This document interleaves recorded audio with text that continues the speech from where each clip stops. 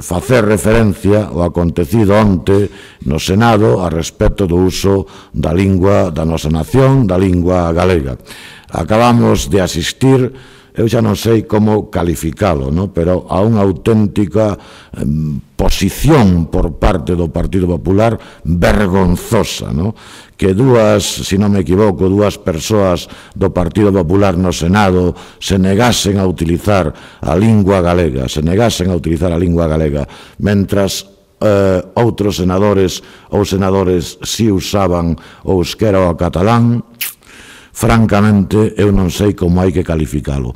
Nós temos dito por activa e por pasiva que o Partido Popular ten unha posición contraria, eh, absolutamente tremenda contra o idioma galego. Esta acaba de ser unha expresión máis desa posición. O señor Rajoy ven a decir aquelo de que hai que facer normal non se sabe que cousas. Bueno, un señor que nunca, eh, en fin, na súa vida se dignou en pronunciar unha palabra no noso idioma. Pero que é realmente vergonzoso para calquer país, desde logo, é que, bueno, sexan, eh, se senadores do Partido Popular que, en fin, eh, fagan, desde logo, este novo aldraxe ao uso do noso idioma. Eh, o señor Núñez Feijó debería pronunciarse a este respecto.